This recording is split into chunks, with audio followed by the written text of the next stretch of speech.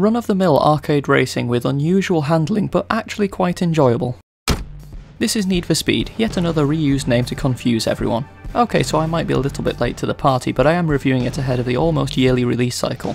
It will come to no one's surprise that Need for Speed is a racing game. This time around it's an open world setting in a city which is in eternal darkness. The story is quite frankly awful, as we've come to expect from racing games. You're inducted into a group of friends, each of which conveniently are a specialist in a different area of racing.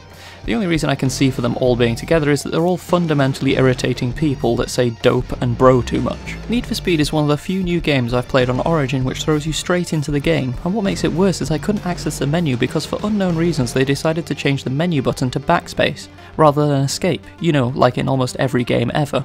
They didn't even bind escape for another purpose. The controls are otherwise pretty normal, but I did find it annoying that the loading screens only show you the controls for an Xbox controller, even if you don't have one plugged in, it's just plain lazy, especially for a big AAA name like Need for Speed. Anyway, the most important part of every racing game in my opinion is the handling, which I have to say this is some of the weirdest handling I've ever seen. It's very arcadey, but that isn't the issue. It just feels really floaty. Sometimes you reach the end of a drift and the car doesn't seem like it's even on the floor, it just slides around like it's on ice. Then other times the car just seems to lock up entirely. You can't initiate a drift and the car just plows on like you're not even steering at all.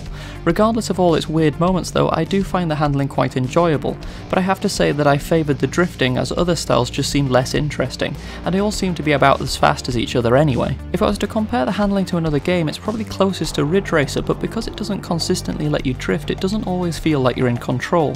I suspect this is caused by the tuning options which allow you to give your car a bias towards drift or grip styles. This system is very easy to use as you have several different options like tyre pressures, braking bias, drift assistance, etc which you can adjust as you please and it has a little bar at the top which indicates which style you're moving towards. It's very intuitive but probably not detailed enough for hardened racers. The actual upgrade side of things dictates how far you can go with some of your adjustments. You can't adjust the strength of your springs until you buy adjustable suspension, and you get the usual range of upgrades like exhaust, turbos, cooling, etc. And then there's the visual customization, which is a very mixed bag from what I can see. I don't know if I just chose the wrong cars, but a lot of them had very limited options when it came to modifications. The only car that it really let me go wild on was the 1932 Ford, which was clearly put in the game just to become a hot rod. In terms of the car selection, it's pretty varied despite only having 50 cars to choose from. The majority are newer cars, but there's also a spattering of older cars like Boss Mustangs, 90s Skylines, and even an old Volvo if you've given up on the whole racing dream thing. But the problem is that you can only hold 10 cars at any one time, 5 of which sit in your garage and 5 which sit in an imaginary warehouse. And it doesn't make sense to have any limit on this since it only has to render 5 at any one time anyway.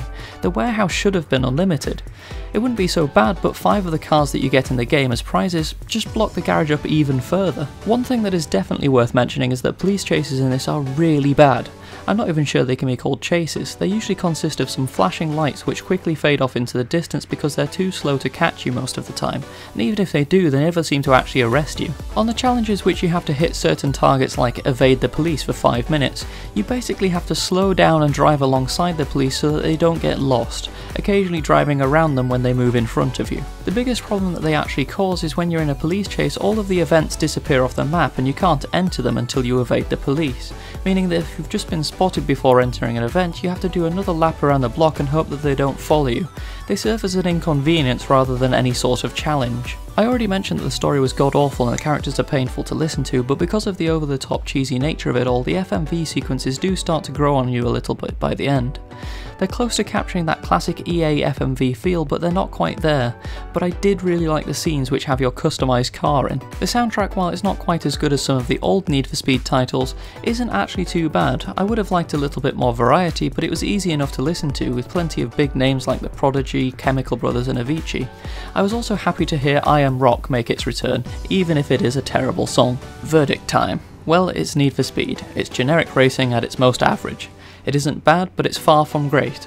I did enjoy my time playing it, but I didn't feel like it's changed in about the last 10 years, and I think the earlier Need for Speeds, despite being dated, are actually better games because they actually have character. I do like that they've incorporated so many different features from other games like the crashes and near misses from Burnout, the drifting from Ridge Racer, the wraps and decal editors as seen in Forza, but by doing this it loses all kind of identity.